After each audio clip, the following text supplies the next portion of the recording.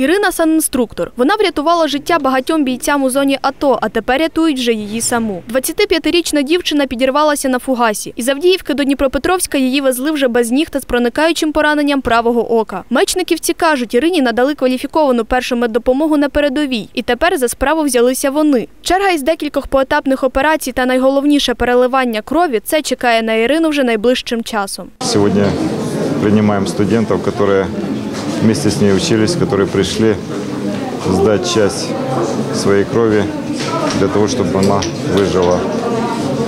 Весь Днепропетровск, вся медицинская академия, вся больница Мечникова переживает и делает все возможное, чтобы у девочки была жизнь, было будущее. Дай Бог, чтобы мы с этим справились. Дівчину оперували, коли перший поверх лікарні заполонили студенти із різних вишів Дніпропетровська. Вони знайшли час і у будній день прийшли здати кров особисто для Ірини та для бійців АТО. Для мене це важливо, тому що я відчуваю мабуть, всередині себе цю потребу допомагати іншим. Мабуть, і в академію я поступила для того, щоб допомагати. А тут виникла така потреба ну, нагальна допомогти своїй колезі. Тому я думаю, це справа честі прийти сюди. Я просто хотів якось допомогти воїнам і знайшов тільки так, такий, е, такий шлях ну, пожертвувати свою кров. Все-таки лікарня Мечникова це одна з найкращих лікарень, працюють видатні спеціалісти. І якщо в неї будуть хоч якісь шанси е, отримати життя, то я думаю, лікарі скористуються цим шансом, використають цей шанс і врятують її життя, і вона е, буде живою.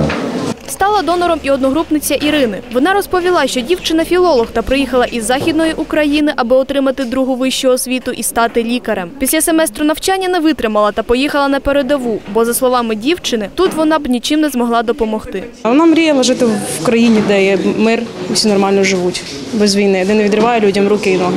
Це теж вона хотіла б найбільше.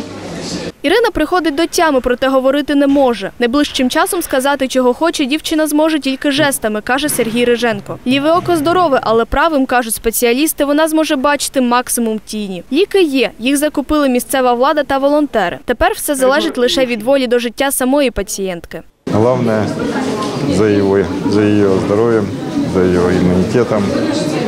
Все зависит от нее. Все, что можно сделать было врачам, уже сделано, даже больше. Скоріше одужати та стати лікарем, аби рятувати людське життя, Ірині бажають її друзі, колеги та редакція 9 каналу. Анастасія Фесюра, Максим Бодриченко. Новини 9 каналу.